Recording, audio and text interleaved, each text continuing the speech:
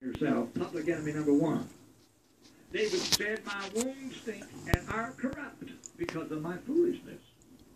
Did he say so? We bring many of these tragedies upon ourselves. That's what I We try to blame everybody and his brother, but down underneath, we know it's our fault, really. Look at that. Trying to be a human. Oh, glory to God. It hit me up, I know. Trying to be a human. So here is Arenal, or